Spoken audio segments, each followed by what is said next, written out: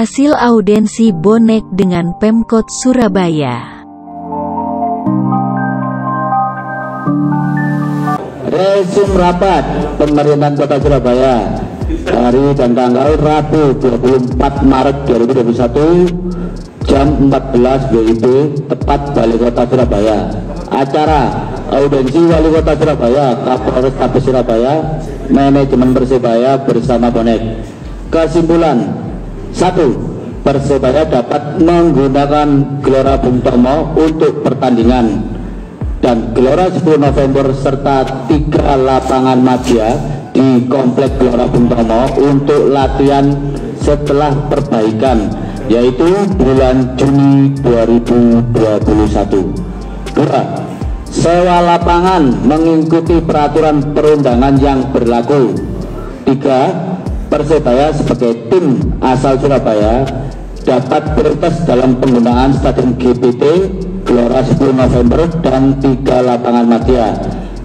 Empat, akan diadakan pertemuan rutin dua bulanan antara Wali Kota Surabaya, Kapolres Tabes Surabaya, Manajemen Persebaya, dan Bonek. Lima, Persebaya memprioritaskan pemain asli Surabaya dalam rekrutmen pemain sesuai dengan skill dan kemampuan yang diharapkan Persebaya. 6. Persebaya harus bisa mencetak pemain asli dari klub Surabaya. 7. Pihak Persebaya wajib mengganti kerusakan stadion apabila terjadi kerusakan dalam jangka waktu yang tertuang dalam kontrak. Demikian poin-poin yang kita sepakati Bapak-Bapak koordinator pun gimana? Setuju? Oke terima kasih Pak Wali Pak Isir atas waktu. Mungkin itu poin-poin kesepakatan resim rapat sore ini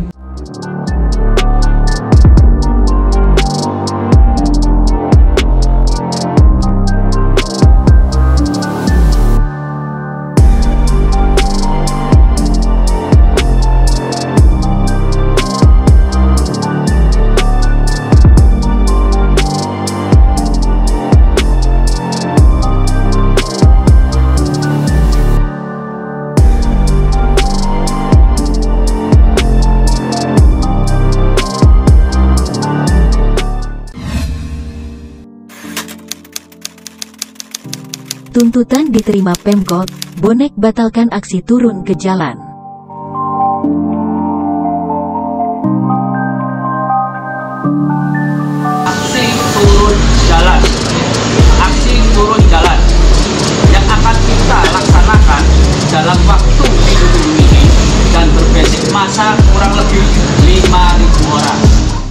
Bonek resmi membatalkan aksi turun ke jalan memprotes wali kota Surabaya yaitu Eri Cahyadi untuk mengizinkan Persebaya memakai stadion di Surabaya.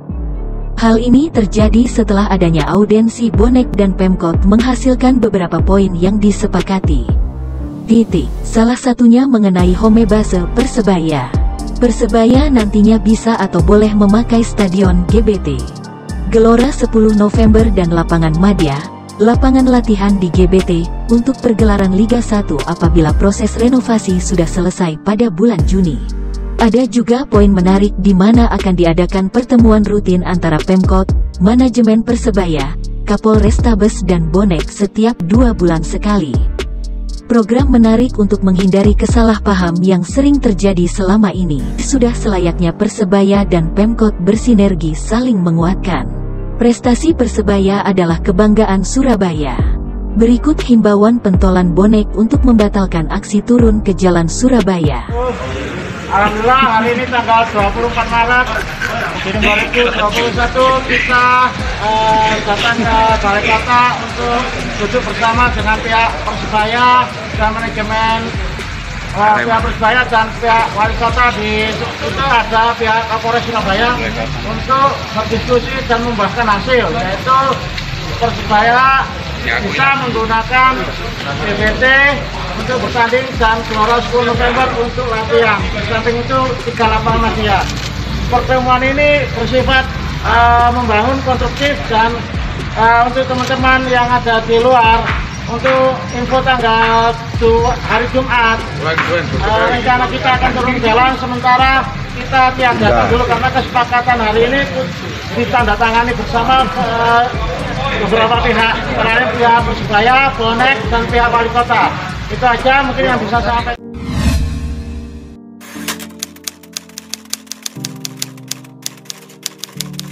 Pelatih Persebaya lempar pujian untuk supporter Indonesia.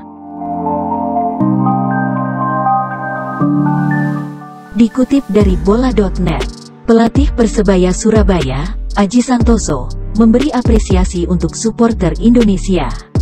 Pasalnya, mereka bisa menahan diri untuk tidak datang ke stadion selama gelaran Piala Menpora 2021. Sesuai regulasi, seluruh pertandingan di Piala Menpora digelar tanpa penonton. Bahkan, jumlah yang terlibat di stadion juga dibatasi hanya 299 orang. Saya mengapresiasi kepada seluruh supporter klub-klub di Indonesia yang benar-benar mereka tidak hadir ke stadion. Karena itu memang sudah aturan, kata Aji Santoso.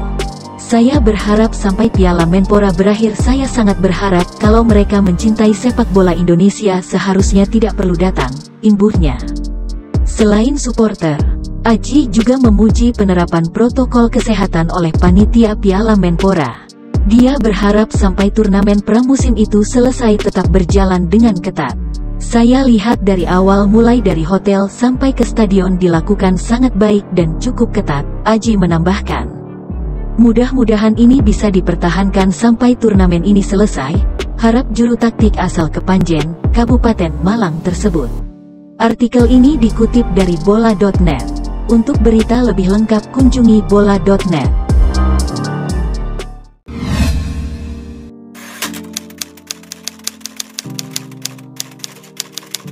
Fokus recovery dan benahi kekurangan. Dikutip dari persebaya.id, Persebaya tidak ingin terlena dengan kemenangan atas Persik Kediri. Aji Santoso langsung menggelar latihan sehari setelah pertandingan. Rahmat Irianto dan kawan-kawan melahap menu recovery yang dijalankan selama 60 menit. Pelatih Persebaya, Aji Santoso berfokus pada pengembalian fisik pemain pada latihan yang digelar di lapangan sintetis kompleks Stadion Si Jalak Harupat. Waktu 15 menit pertama dihabiskan untuk pemanasan. Lalu 45 menit sisanya tim Bajol Ijo dilatih permainan umpan kombinasi untuk memantapkan sentuhan. Sementara itu, beberapa pemain yang bermain full 90 menit pada laga kemarin hanya melakukan jogging ringan. Baru setelahnya seluruh pemain kembali bergabung untuk melakukan terapi ice bath. Hari ini tadi hanya recovery training. Bagi pemain yang bermain full hanya melakukan jogging dan pemanasan. Tapi untuk pemain pengganti dan yang tidak main masih latihan normal, terang Aji. Selain itu dua pemain yang sebelumnya tengah didera cedera hamstring juga telah bergabung dalam sesi latihan bersama. Rivaldi Bawuo dan Arif Satria tampak menikmati menu latihan yang diberikan Aji Santoso.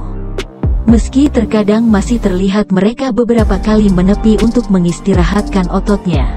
Saya lihat Arif belum 100%. Saya lihat waktu dia sprint dia masih takut-takut. Makanya saya tidak mau dia lebih parah lagi karena saya paksakan untuk bermain. Makanya saya hati-hati, jelas Aji. Persebaya akan kembali bertanding pada hari Minggu tanggal 28 Maret nanti. Madura United akan menjadi lawan berikutnya bagi klub kebanggaan Arek-Arek Surabaya. Artikel ini dikutip dari persebaya.id.